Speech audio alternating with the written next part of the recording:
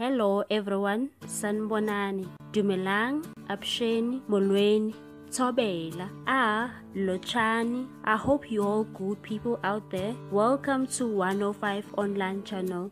In this channel, we are bringing you celebrity news, entertainment news, and gossip celebrity news. If you are new into this channel, please, please subscribe and hear good people. Today I'm bringing you the latest news of the Kaizer Chiefs coach.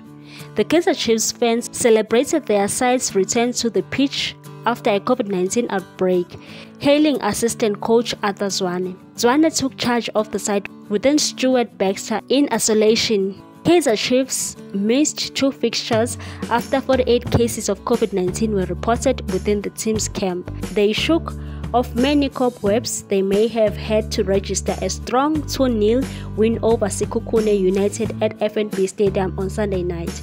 Chiefs made six changes to the side that beat Swallows FC by 3 1 last month with Nkosingiphile Ngcobo restored to the starting lineup.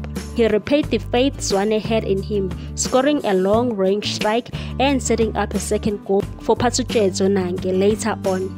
The Soweto Giants moved up to second on the table, 12 points behind leaders Mamelodi Sundowns. They have the tough task of trying to convince the Premier Soccer League to reschedule the two games they missed.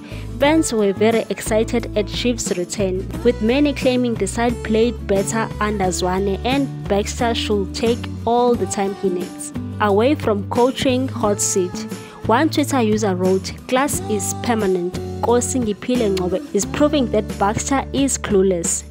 One also said, hashtag Amakhosi for life, two bad games under Baxter. One game under 10 1 he becomes the most influential player in less than 29 minutes.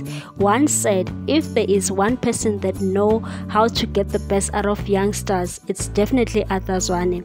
He deserves all the credit. Cool, calm and collected. Fans are really showing appreciation to Zwane. What's your take on this one, people? Please leave a comment down below. Thank you, thank you so much for watching. Please do not forget to subscribe and hit that notification bell so that you can get more news on this channel. 105 channel loves you. Bye, good people.